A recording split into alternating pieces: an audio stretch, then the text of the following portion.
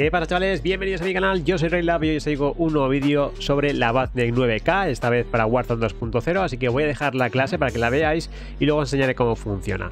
Vamos a irnos directamente al armero, en la gacha le vamos a poner el silenciador X10 RR40 que nos va a silenciar el mapa, nos va a dar más velocidad de balas y alcance de daño, que nos va a venir bastante bien para lo que es Warzone, para poder eh, pelearnos también a medias distancias y nos va a dar suavidad del retroceso.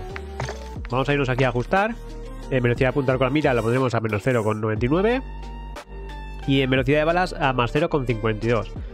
Vamos a conseguir apuntar más rápido, que es bastante importante para la que vamos a utilizar la clase, que es para cortas y medias distancias. Y velocidad de balas para que podamos impactar antes a los enemigos. Vamos a irnos al segundo accesorio, en este caso el láser FSS V, que nos va a dar más velocidad de apuntar con la mira, estabilidad al apuntar y tiempo de espintar al disparar, ¿vale? Con esto vamos a conseguir apuntar mucho más rápido para poder rusear a los enemigos. Vamos a irnos a ajustar, en tiempo de sprint al disparar eh, lo vamos a poner menos 0,26 y en velocidad de apuntar con la mira menos 21,39 pies. Para esto lo que vamos a conseguir es que apunte mucho más rápido, ¿vale? Y no nos quite tanta estabilidad. Vamos a irnos ahora a lo que es la culata, le vamos a poner la Broadside FCT para que nos dé más estabilidad al apuntar. Eh, velocidad de movimiento al agacharse, velocidad de apuntar con la mira y velocidad al sprintar. ¿vale? Lo que vamos a conseguir con esto es que podamos movernos mucho más rápido por el mapa y aparte apuntar más rápido. En contra nos quita un poquito de control del retroceso. Vamos a irnos aquí a ajustar. En velocidad de apuntar con la mira le pondremos menos 2,45 y en velocidad de movimiento apuntando menos 1,32. ¿Vale? Con esto conseguiremos que apuntemos mucho más rápido y aparte vamos a tener más velocidad mientras que estamos apuntando, ¿vale? sin quitarnos lo que es la estabilidad. Vamos a irnos ahora... Vamos a ver... Bien, vamos a irnos ahora a la empuñadura trasera.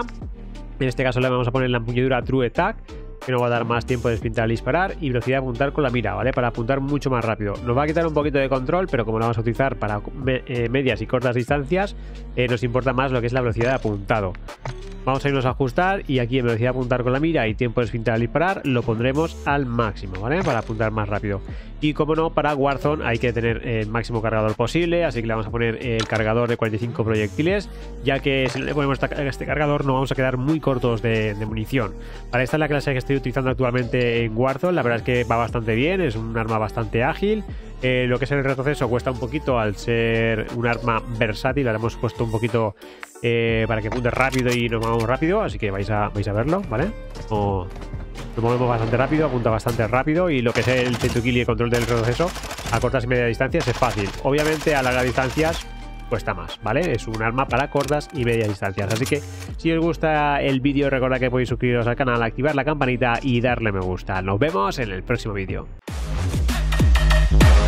Thank you.